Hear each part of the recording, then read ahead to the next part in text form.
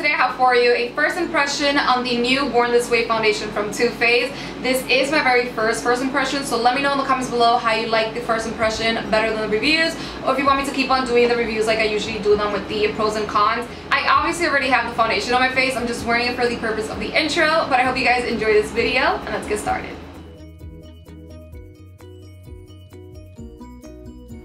Alright, so this is what the bottle looks like and I absolutely love the packaging. It actually reminds me of a Chanel foundation. It has a pump which comes right in handy. And the shade that I'll be using is caramel. They don't really have that many shades for darker skin tones, which is something I'm not too happy about, but we'll be trying out the caramel shade and see how that works. Today I'll be using a beauty blender. I usually use a flat kabuki brush like this one, but we're going for the beauty blender. By the way, today I decided not to use my ring light so you guys get the more natural lighting. Let me know how you like this lighting better for makeup tutorials just because many of you guys say that my face looks washed out compared to my neck.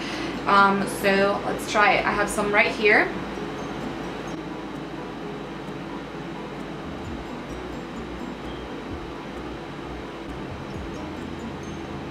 Oh wow.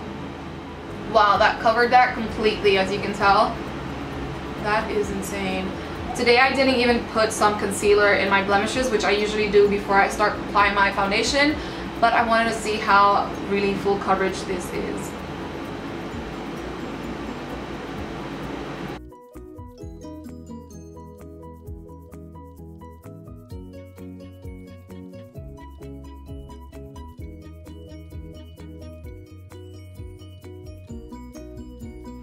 Alright, so that is a thin layer. I really like the color actually. I thought it was going to be a little bit too ashy tone for me because when I tried it out in the back of my hand, it dried out a little bit ashy. But obviously my arms are extremely dark right now compared to my face, so yeah, I like the color. As you can see, I've been breaking out in my forehead lately, so I'm going to see if I could cover that a little bit more and check if it's buildable.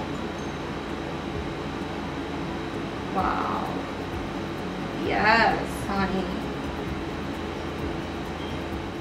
Wow, I completely love this foundation already, to be honest. Just because it really looks airbrush and your skin but better. Like it doesn't look like you have too much product on your face because certain foundations, especially when they're matte, because this foundation is matte, gives you that cakey look to your face. But this one is just so nice. Love it. Love it. Oh damn it, I forgot to use this. I was actually going to use the Hangover RX primer under this foundation but I guess you guys get the actual review without having a primer under which it's better that way you know exactly how long it lasts. Alright so this is what the foundation looks like without any powder or concealer on. I really like it. It's just very natural and lightweight but it gives amazing coverage because I had some breakouts in my forehead. But I'm going to finish my makeup and head out and then keep you guys posted on how long it lasts and the pros and cons of the foundation. Right now it's 343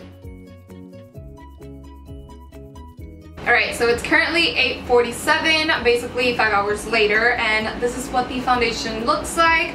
I really, really love it. I did get oily throughout the day, especially in my T-zone area. I am normal to combination skin, like I've mentioned before in previous videos, but if I don't set my foundation, which I didn't today with powder, I get pretty oily so aside from that I loved this foundation to me it's a demi matte finish it's not completely matte because I still have like a glow to my skin which many foundations once they're matte they take that glow away from your skin. For example the L'Oreal Infallible foundation it's a completely full matte foundation. One of my favorites is super full coverage but that one it's way more cakey compared to this one. Cakey as in it looks like you have a lot of foundation on but this one just makes your skin look so so natural very lightweight.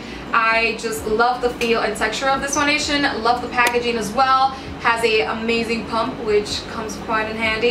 I am in the color caramel if you were wondering. The only con that I have about it is the fact that they don't have a large range of colors to choose from and each color basically like jumps really far away from each other like caramel and mocha which is the next color after caramel it's very deep and dark. But overall this is an amazing foundation. I think it's totally worth the try. It's $40 it's oil free it's pretty long wearing. I wore it for about six hours. It's also very lightweight. It makes your skin look and feel natural. I think it's going to be a great foundation for the full time as well.